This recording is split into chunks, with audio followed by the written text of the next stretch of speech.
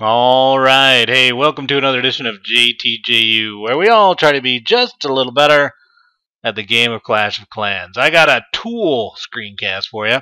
Goes along with the write-up we did on our site, uh, talking about a forecast tool we just put together to basically model how wars might play out in terms of by attack, by town hall level, how many attacks you would use at that from that town hall level, and how many would be used to hit down was the big thing that we were trying to model. But it also, as you do that, you can then also get a very accurate model of the potential score that each team is tracking to.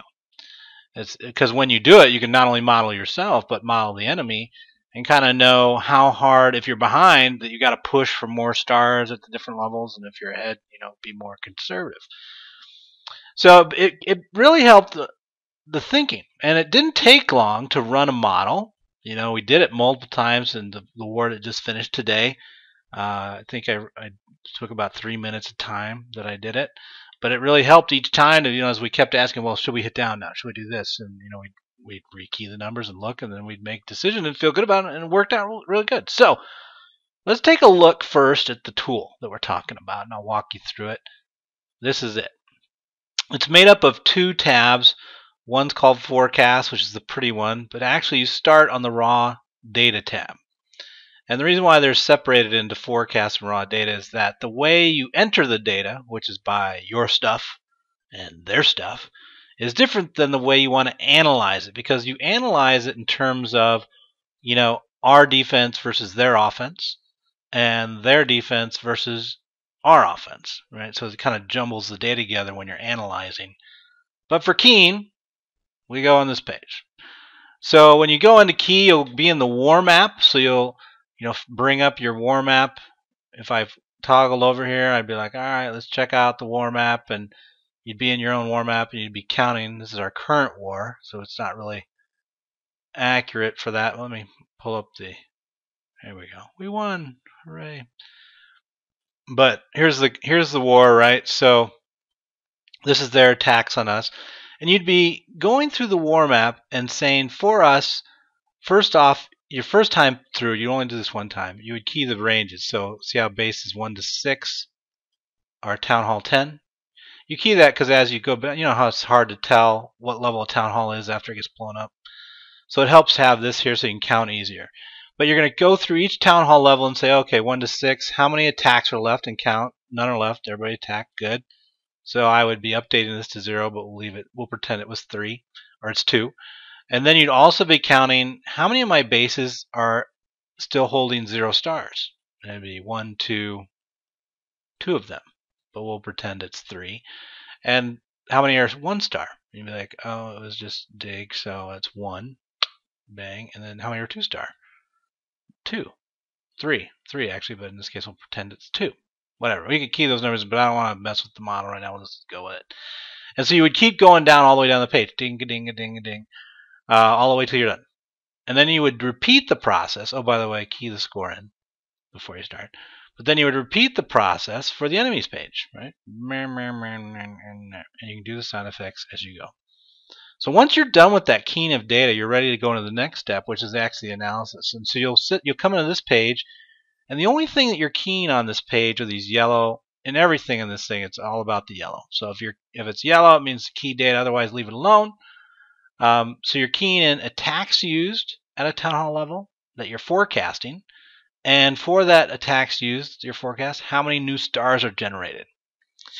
So what you're looking at, or what I'd be looking at, is I'd be like, all right, Town Hall 10. There, our defense, so I'm modeling in effect their attacks on us now, projecting it out through the war. And I'm saying they have three attacks left at Town Hall 10. There are four bases totally open. Logic tells me they're going to have to hit those, so I'm going to say they're going to use all three attacks to get those four bases. And really, that leaves them nothing else left. And I'm going to say that they're not that great of attackers. They're pretty good. So I'll actually I'll, I'll say they're pretty good. So they're going to get two stars in each. So three times two is six new stars, and we move on. Now, you then go to Town Hall 9, repeat the process. Again, saying I got tax used, you're going to look at how many bases are open of each type. And you, But the one of the questions you're asking that I didn't even hit on as I hit Town Hall 10 was, whether or not it's okay, like at Town Hall 10, to leave a one-starred base, right? And that's going to be one of those art, more art than science questions, where you look at how the enemy's doing and how you're doing, and do you feel like, you know, do you need to push for two-star and everything, or you can you, can you be more conservative? And if you get a one-star, move on and start hitting down and getting higher odd attacks from a Town Hall 10 hitting a Town Hall 9. Uh, and one thing that you can use at the end when you're done validating is compare the score. And if what forecasts your score, if it shows you falling short, you were too conservative and you probably need to go back and force more attacks in the town hall level to try to get better stars. Right? But anyway, you would come into town hall 9, right? Let's say we're past town hall 10 and, and you look at it as like, all right, there's one base to, whiffed, one base has got one star on it, four bases got two stars on it. I got two attacks left so like we're way into the war, maybe two hours remain or something. So two attacks are left. And I would assume I'm to for sure do this one. And we'll go ahead and use this one too. Now, an interesting question. Let's pretend if I came back up, we'll go actually we'll go to the raw data. We'll, we'll behave and do it correctly. So let's say that they had four attacks. Right, so now it's four.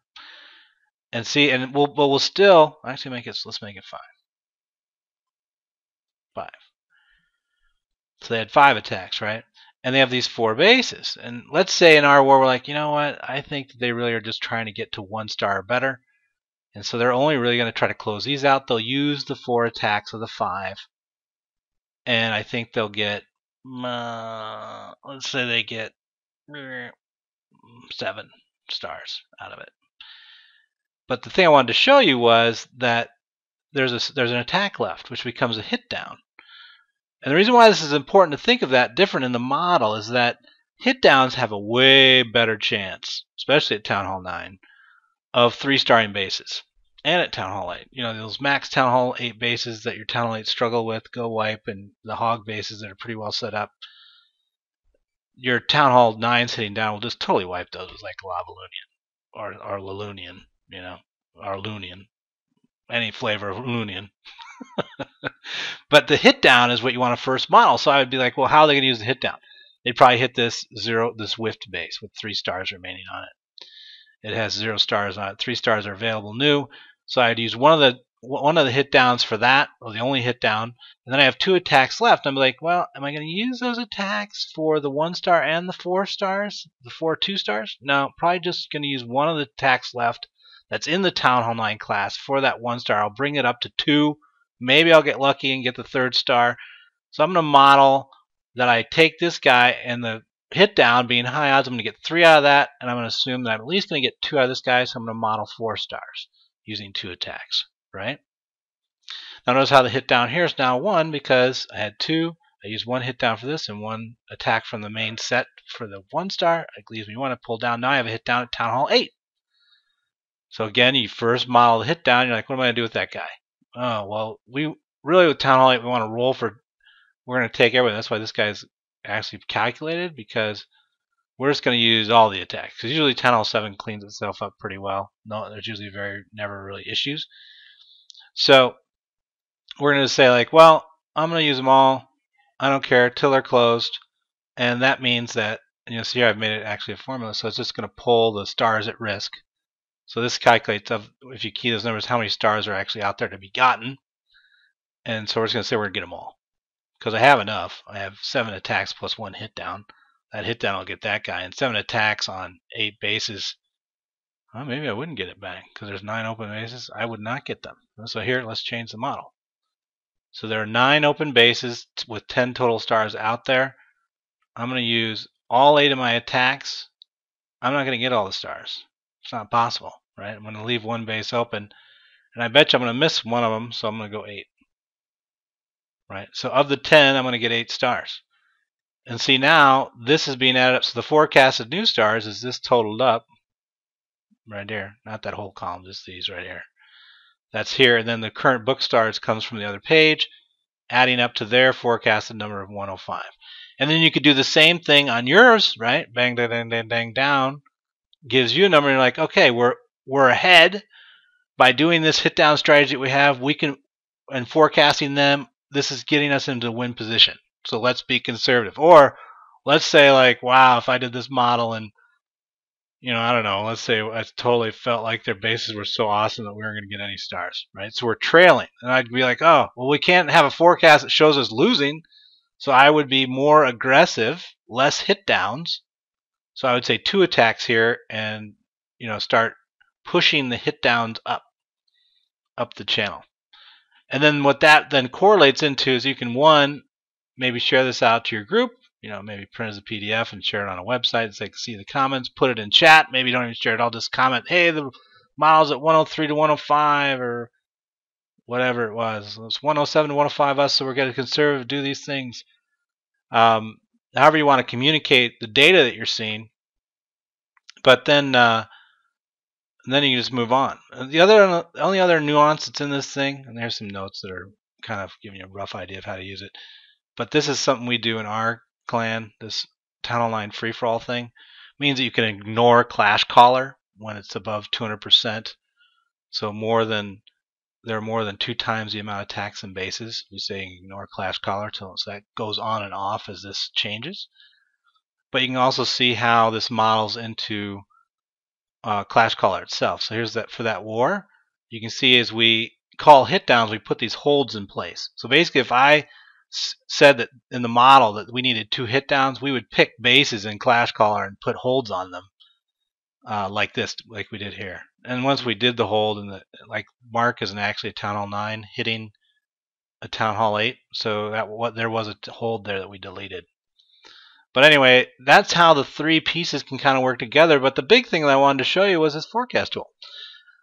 In the notes of the YouTube video or on the site, if you go to the article, there's a link where you can download the Excel file and then change the formulas to however you want to do it. If you don't want to, you know, sum this up or you want to key it differently, or you want to make it even more innate, feel free.